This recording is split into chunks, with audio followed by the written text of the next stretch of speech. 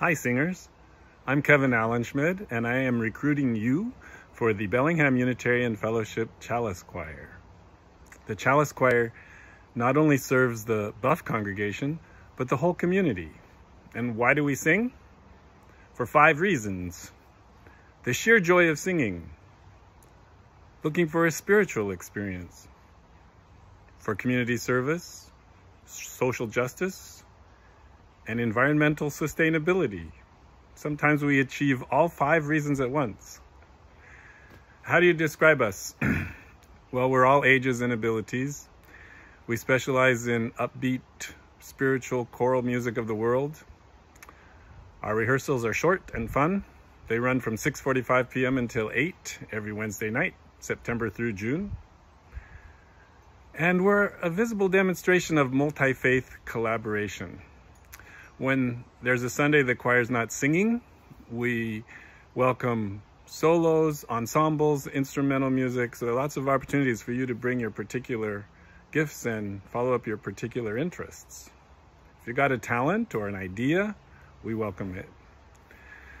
We sing for a service once a month. and we also are looking for community performances like a multi-faith Thanksgiving service in November, a Martin Luther King program in January, a multi-faith music festival in March, uh, road trips out to neighboring congregations in May.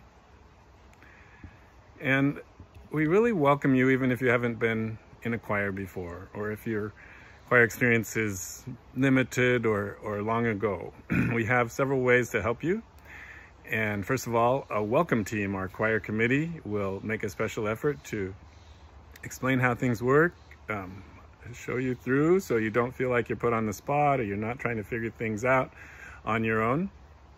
We have rehearsal tracks that are recorded so that you can listen and sing along with the part that you're learning so you can learn it by ear as well as by reading the music. Of course, we are always honing our skills at reading music and you'll get better at that as you sing throughout the year. we have music reading buddies that, you know, can keep us on track and, and first of all, just show us where to look um, and make sure that we're somewhere close. and we have sectionals occasionally on a Saturday morning where all the tenors or basses, for example, would get together and would shed their part. For this coming season, I'm very excited about the repertoire we will start with in September. Instead of the traditional We Are One that several people have told me they would like to move on from, we are going to sing We Rise Again, uh, which has become another favorite of ours, and it will be especially appropriate for that first Sunday, which is 9-11 and post-COVID. In October, I'm bringing a composition of my own to the choir called Children of the Earth with the sentiments of Chief Seattle set to music. Sacred, the earth is sacred to my people. I love this, uh, these words and I am eager to share my arrangement of them with you musically.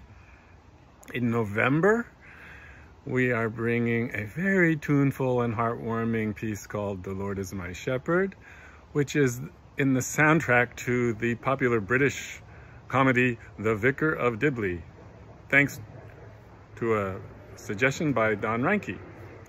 I got the music from him and started singing through it.